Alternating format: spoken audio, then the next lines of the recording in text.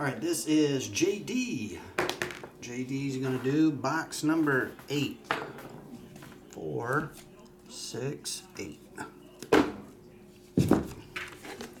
we go, JD.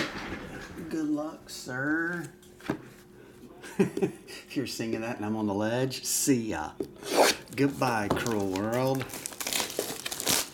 What, I couldn't pull a Jim Carrey and get you off by singing that song?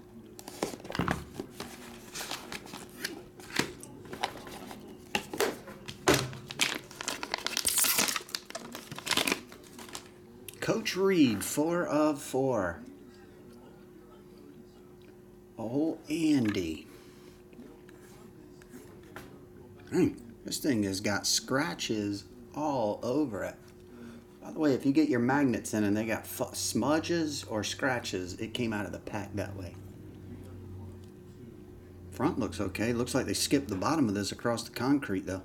Could have been the last loader in a pack of like 30 or something and it was on the bottom or something and it got scratched. I don't know. Either way, it's just a magnet. The card's fine. JD, thanks, buddy. the old nugget.